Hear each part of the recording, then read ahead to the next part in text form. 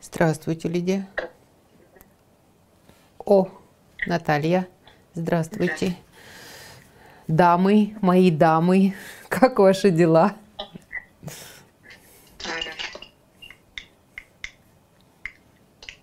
Наталья, у нас там инсайт произошел, я так понимаю, да?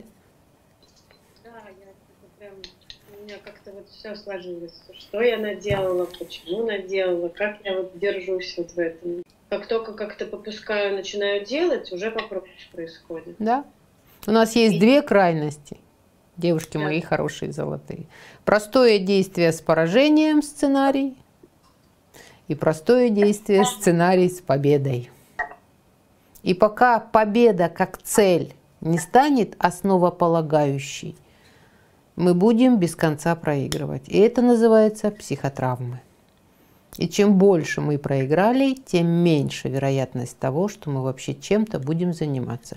Как у Лидии получается и вязать, и стрелять, и бегать, и танцевать. Вот где-то, где-то рассеять свое внимание, чтобы не заниматься основным потому что слишком много было. Нельзя, не ходи, то есть запретов, стереотипы. Подружки делают так, не понимая причины, почему делают так. И вот это вот без конца поскакали. Образа построения очень быстро смещающиеся. Один, второй, третий, четвертый. И это называется поверхностность. Значит, тогда результатов не будет никаких. Никогда. Никогда. И будет разочарование, безысходность, и весь мир, сволочи, гады, меня не любят, он агрессивный, такой и сего. А причина совсем простая. Не сепарированный от родителей, от семьи, переповтор. Переповтор борьбы «отпустите меня», хотя на самом деле никто никого не держит.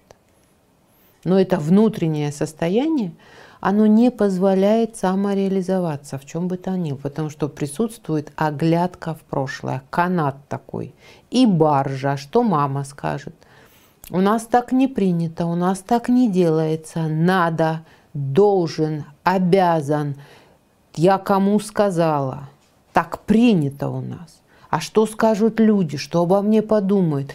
И вот этот коллапс, он без конца в голове. А когда вы к себе от мамы, от папы сепарировались и понимаете, что ваша жизнь только в ваших руках, тогда, собственно говоря, и начинается разбор полетов. Почему вот такие занятия, они более продуктивные, если заниматься еженедельно? Потому что взгляд с разных сторон дает возможность быстрее учиться. Да, неприятно, да, смотреть на вылезающее, все это это очень неприятно, но это очень продуктивно, если человек действительно хочет изменить свою жизнь. Тут вопрос, наверное, понимать, да, что вот, находить вот эту вот э, причину, вот корень, да. который там вот да. такой вот Да.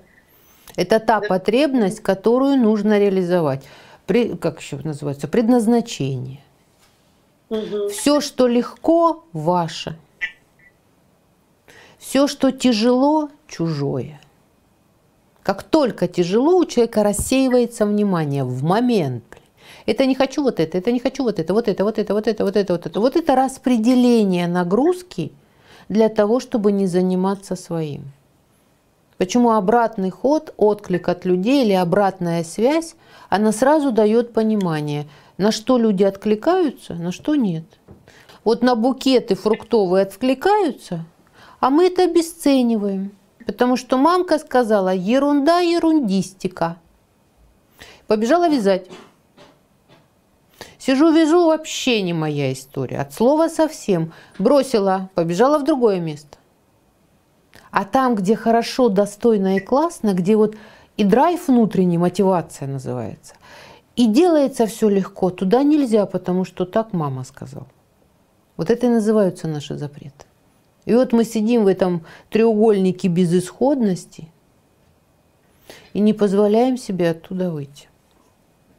Все. Нам нельзя запреты. Вот вероятности работают. Вы же видели эту таблицу? Вот и ищите. Вероятности какие. В любом случае, ведь запрет проходит только если ты пробуешь по-другому. Да. То есть ты э, противоположно да, перевешиваешь. Что раз По крайней мере, начинаешь двигаться в противоположную сторону. Тогда выходит инцидент как образ. Вот это обязательно, потому что внутренняя сигнальная система тела, она всегда реагирует или на боль, или на страх. Потому что для тела это стресс, напряжение, и оно больше не готово от больной головы нести такие убытки. Потому что ресурсная база тела, она ограничена при образовании отрицательной энергии. Да? Мама сказала нельзя, папа сказал нельзя, или перед носом дверь закрыли. Это триггерит. Но когда вы осознаете, что человек перед вами дверь закрыл, не мама и не папа, и вам далеко не пять лет, вы говорите, Господи, еще неизвестно, кому повезло. Разворачиваетесь и идете заниматься своими делами. Но выводы по отношению этого человека вы делаете. Вот он способен таким способом, или она способна таким способом. А теперь смотрим, какие были последствия, когда мама дверь закрывала, папа дверь закрывал. Значит, вас заставляли, принуждали к каким-то действиям. Называется принуждение или воздействие. И вы начинаете на автомате это делать. Что такое зависимость? Зависимость – это когда мы рассчитываем на одно, а от нас отказываются, и мы цепляемся. И вот эта зависимость эмоциональная, как же так? Я же ничего не сделала плохого. И выматывает нас прямо нервы, как на кулак. А когда вы отпускаете, говорите, ничего страшного, ничего страшного. Мне есть чем заняться. И перещелкиваетесь. Тогда человек понимает, что он не смог на вас воздействовать, а очень хотелось. И начинает к вам идти. А вы говорите, опа, и двух недель не прошло. Что случилось в нашем королевстве? И сразу получаете ответ, что от вас надо. Но мы это пропускаем, потому что эмоциональный интеллект не работает. Работает слово, Может, мама.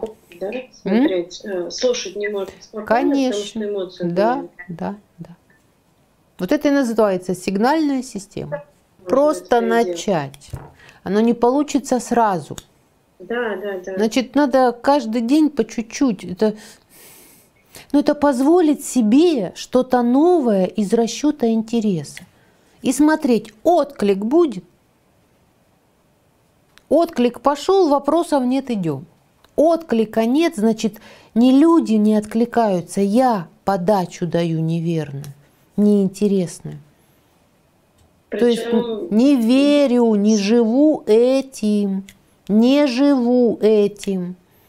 Значит, обман, самообман. Значит, это чье-то убеждение, которое вот въелось в голову, въелось. Значит, чье-то есть очень веское, очень глубокое, очень такое смысловое мнение, как оценка мамы, папы, подружки, там еще кого-то.